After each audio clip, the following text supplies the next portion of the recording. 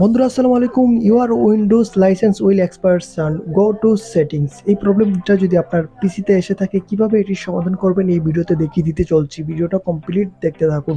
তো এর জন্য আমরা প্রথমে এখানে আমরা, এখানে যে ট্যাব এই আমাদের এখানে যে সার্চ বার রয়েছে উইন্ডোজের এখানে সার্চ বার রয়েছে কর্নারে এই সার্চ বারে আমরা ট্যাপ করব আর এখানে আমরা টাইপ করব রান রান লিখে টাইপ করার পর রান অ্যাপ্লিকেশনটি আমাদের সামনে চলে আসবে, এটি আমরা ওপেন করে নেব।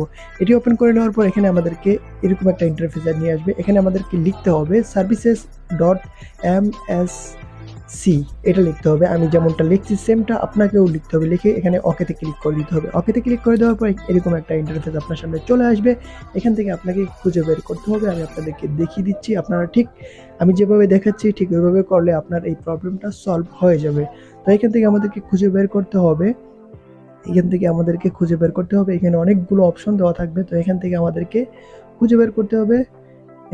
এখান থেকে আমাদেরকে এই এই যে উইন্ডোজের অপশন আমরা চলে আসছি। এখান থেকে আমাদেরকে এই যে এখানে, না, এটা না এই যে নিচে দেখতে পাচ্ছেন Windows license manager service Windows license manager service এটিতে আমরা ডাবল ক্লিক করব। ডাবল ক্লিক করে দেওয়ার পর এখান থেকে স্ট্যাটাস টাইপ এখানে স্ট্যাটাস টাইপে আপনারা কী করবেন ম্যানুয়াল দেওয়া থাকবে। আপনারা এটাকে ম্যানুয়াল থেকে ডিজেবলে ক্লিক করে দেবেন। তো আমি এটা অলরেডি ডিজেবলে ক্লিক করে রেখেছি। আপনাকে সেমটা করতে হবে ডিজেবলে ক্লিক করে দিতে হবে। ডিজেবলে ক্লিক করে এখান থেকে ওকে আইকনে ক্লিক করে দিতে হবে। তারপর এখান থেকে আমাদেরকে আরেকটি অপশন খুঁজে বের করে নিতে হবে উইন্ডোজ আপডেট উইন্ডোজ আপডেটের একটা অপশন এখানে রয়ে যাবে। এই উইন্ডোজ আপডেটের অপশনটি আমাদেরকে খুঁজে বের করতে হবে। তো এখান থেকে আমরা খুঁজে বের করব উইন্ডোজ আপডেটের এই অপশনটি তো এখানে দেখতে পাচ্ছেন উইন্ডোজ আপডেট এখান থেকে আমরা ডাবল ক্লিক করে দেবো। ডাবল ক্লিক করে এটাকে অন করে এখান থেকে স্ট্যাটাস টাইপ এখানে আমি ডিজেবল করে রেখেছি।